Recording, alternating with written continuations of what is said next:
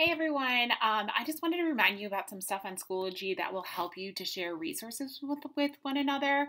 And just a warning before we get going, there is a 100% chance my kids are going to walk in on this recording Hashtag work from home is amazing. Um, all right, so just so that you, just so a reminder on how to share with other teachers that may be teaching the same subject area that you are. That's what groups are for. Um, that gives you the chance to share resources back and forth. So I'm just going to kind of walk you through groups and how to create a group and what to do with groups and all of that kind of stuff.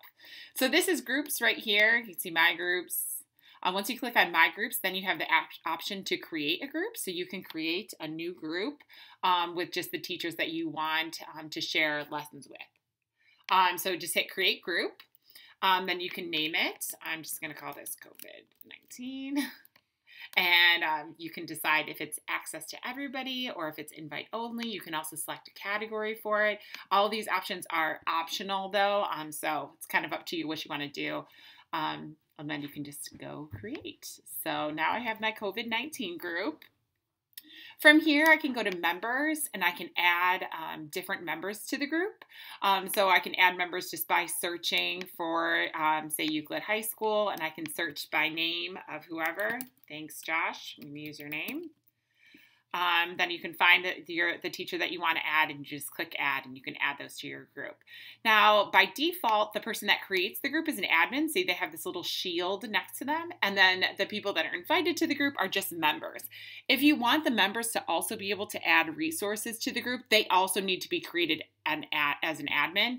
To do that, whoever is the admin just clicks the gear next to their name, and instead of remove admin, it will say make admin. You can make everybody in your group an admin so everyone can share resources like that.